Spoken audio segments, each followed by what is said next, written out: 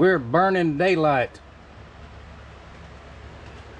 Where's your favorite knife maker? I'm in the shop. I cannot sleep. I took a nap earlier in the afternoon. And I have a hey man job. Uh, sort of rush birthday present type thing. Hang on. Now, I normally don't like to work on the imports, but I will. If y'all have something that you need worked on, I'll, I'll work on it. Uh, this one, the handle was broken. And this is the Winchester Bowie uh, made in China. Here's the sheath right there. Sheath is, is okay. It's not a bad sheath. And these are not very, very expensive knives anyway, but what I'm gonna do, he wants an antler handle on it. So I got a chunk of antler. I'm gonna put a walnut cap on it. And where I connect the cap to here, I'm gonna put a little piece of dowel pin in there. Get it all measured out. Probably have just one, uh, one pin in it. These pins came out extremely easy, which is good and we'll get it fixed up. Now, hopefully I can deliver this tomorrow afternoon. And when I deliver it, there's a crawfish boil going on. So that's why I'm out here at 2.30 in the morning.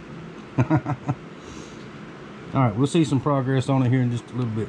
And yeah, if you don't uh, if I didn't mention it, it's still raining.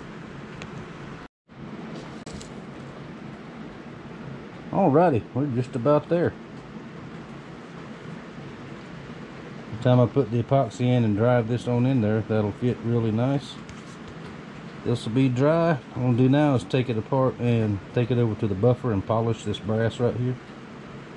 And I'll wait to polish the blade until I get a this all on there so I can have more control over it.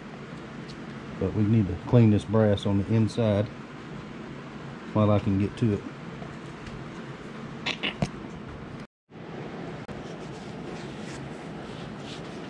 Shiny, shiny, shiny. Pretty, pretty, pretty. Alright, now I'm to clean off the uh, tang real good and get the epoxy in and get it set. And we will have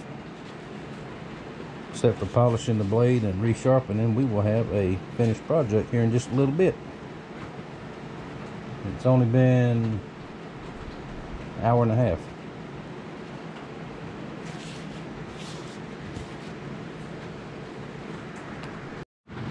Yes, it's still raining. All right, we have our project finished up.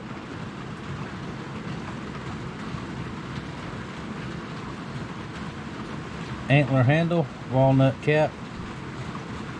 I just decided to go with one pin, one brass pin right there.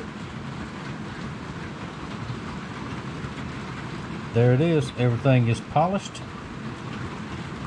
Sharp. Very, very sharp. It was fairly sharp to start with. It had some nicks in the blade down here. I took those out.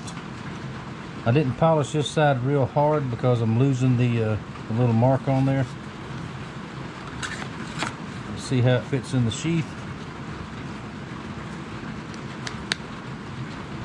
Let's see, I should move the camera up here, shouldn't I?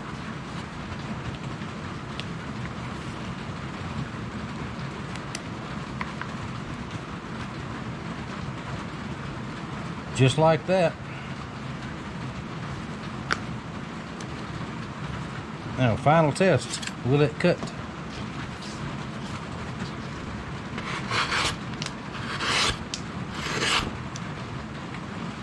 it will cut.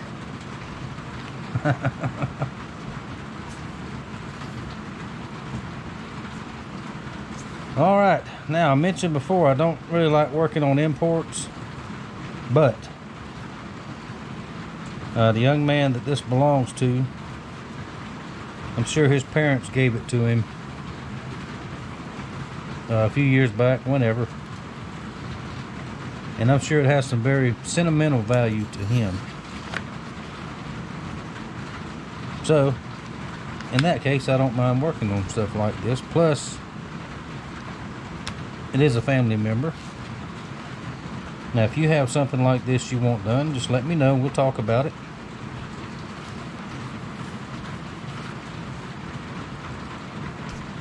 There we go, right there. Now it is now 6:30. So uh, four hours. That's a four-hour job. I enjoyed doing it. Glad to do it for him. I will take it over and deliver it this afternoon. And like I mentioned, there will be a crawfish boil going on, so yeah, love me some crawfish. And I haven't had any in a while, so there we go. I just hope they do it rain or shine, because it looks like it's going to rain all day again. But there we go. I'll return the old handle too. So thank y'all for watching this little project. I think I'm gonna go inside and uh, get me a little nap before afternoon gets here. So thank y'all for watching. Thank you for your support. And I will be back in a few days with what else? Some more knives. Thank you for watching.